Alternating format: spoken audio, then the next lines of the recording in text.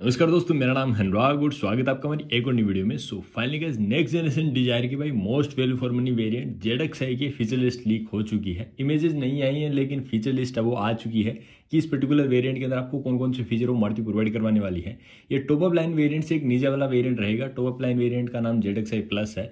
Z X I variant के अंदर आपको काफ़ी सारे कंफर्ट और कन्वीनियंस के फीचर मिल जाएँगे एंड अच्छे पैकेज के अंदर ये गाड़ी है, वो आने वाली है। सबसे पहले फ्रंट प्रोफ़ाइल की बात करें तो यहाँ पे आपको फोग लैंप है वो इस गाड़ी के या इस वेरियंट के अंदर नहीं मिलेंगे, लेकिन जो हेडलैम्प है वो आपको as as it is top model जैसे वो मिलने वाले हैं। आपको रिफ्लेक्टर बेस एलईडी हेडलैम्प वो प्रोवाइड करवाए जाएँगे एंड डीआरएल आपको नीचे की ओर वो देखने को मिल जाएगा।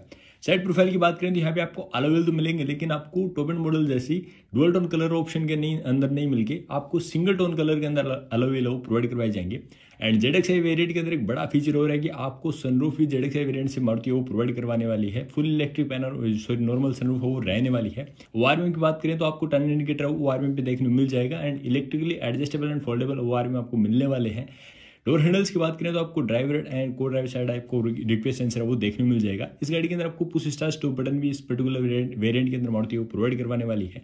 रेयर प्रोफ़ाइल की बात करें तो as it is top model जैसे आपको एलईडी टेल है, वो प्रोवाइड करवाए जाएँगे। इंटीरियर की बात करें तो इंटीरियर में आपको सामने की ओर इन्फोटेनमेंट सिस्टम की बात करें तो यहाँ पे आपको सेवन इंच का इन्फोटेनमेंट सिस्टम इस वेरियंट के अंदर देखने मिलेगा। टॉप एंड के अंदर आपको नाइन इंच वाला इन्फोटेनमेंट सिस्टम देखने मिलेगा।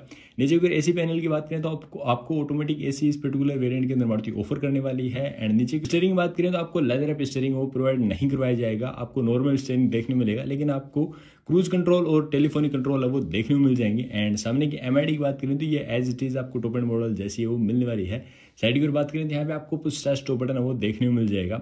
सेंटर कंसोल की बात करें तो यहाँ पे आपको आर्म रेस्ट और टॉप एंड मॉडल के अंदर भी नहीं मिलती है, इस वेरियंट के अंदर भी नहीं प्रोवाइड करवाई जाएगी, लेकिन आपको रियर एस इवेंट्स है वो इस पर्टिकुलर वेरियंट के अंदर वो देखने को मिल जाएँगे।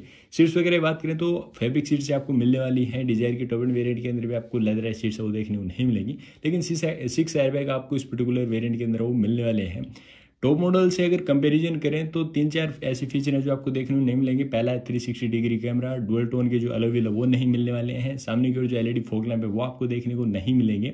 एंड अंदर की ओर बात करें तो यहाँ पे आपको नाइन इंच का इन्फोटेनमेंट सिस्टम देखने को नहीं मिलेगा। सेवन इंच वाला ये वो प्रोवाइड करवाया गया है। बाकी अंदर की ओर सारी चीज़ें वो एज इट इज़ सेम वो रहने वाली हैं, कोई भी कॉस्ट कटिंग नहीं की जाएगी। तो ये कुछ चार से पाँच ऐसे फीचर हैं जो आपको टॉप एंड वेरियंट के अंदर देखने को मिलेंगे, लेकिन जेड एक्स वेरियंट के अंदर देखने को नहीं मिलेंगे।